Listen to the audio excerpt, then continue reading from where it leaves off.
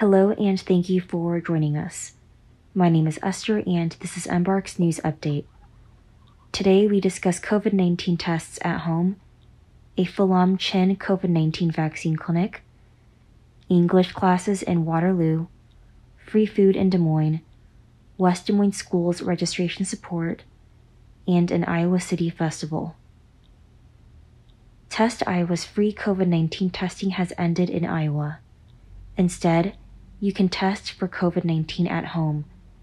Pick up the free test at over 100 locations across Iowa, collect your saliva, and send in the test.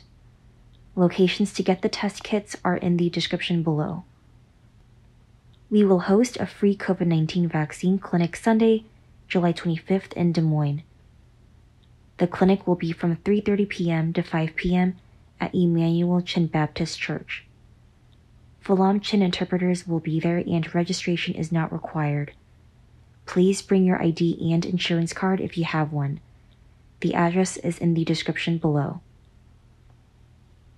English classes at Hawkeye Adult Learning Center in Waterloo starts August 23rd. To register, visit the website in the description. Urban Dreams has free food in Des Moines Monday through Friday from 9 a.m. to 5 p.m. The location is in the description. You can receive help in different languages when registering your child in West Des Moines, and interpreters in Hakha Chin, Burmese, Vietnamese, Spanish, Swahili, and Arabic can help parents. You must bring a utility bill to show you live in the area.